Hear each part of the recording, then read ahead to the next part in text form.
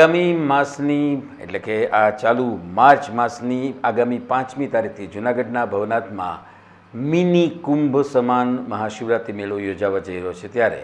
પર્યાવરણ માટે હાનિકારક પ્લાસ્ટિકના વપરાશને અટકાવવા સંપૂર્ણપણે પ્રતિબંધ તંત્ર દ્વારા ફરમાવી દેવામાં આવ્યો છે. છતાં કોઈ પ્લાસ્ટિકની કોઈ વસ્તુઓ લાવશે તો નિયમ અનુસાર દંડાત્મક કાર્યવાહી કરવામાં આવશે. જ્યારે સાધુ પણ ભાવિકોને પ્લાસ્ટિકનો વપરાશ ન કરવા ખાસ અપીલ કરી છે.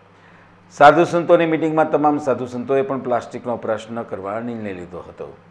ગિરનાર પર્વત પર પ્લાસ્ટિક જતું અટકે તે અને પ્લાસ્ટિકનો વપરાશ ન થાય તે માટે જનજાગૃતિ ઝુંબેશ ચલાવવામાં આવશે. રેલી, સ્પર્ધા નેચર એજ્યુકેશન કેમ્પ સહિતનું આયોજન પણ કરાશે. ભવનાથ તળેટી વિસ્તાર સહિત ઇકો સેન્સિટિવ ઝોનમાં આવતા સત્યાવીસ ગામોમાં પ્લાસ્ટિક સંપૂર્ણપણે પ્રતિબંધિત છે.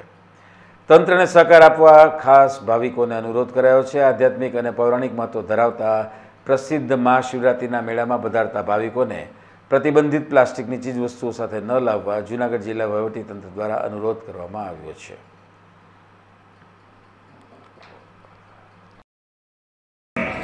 और वो जमीन में समाधि ले लिया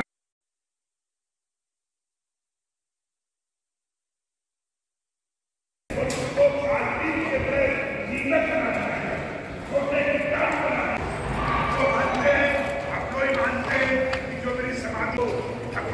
शंकर स्वयं संस्थान में और जहाँ भी समाधि होती उसको भी सब वो जानवर काम आ जाते थे। वो जानवर हमारे शोक साल का है दो साल का है, साल भर का है।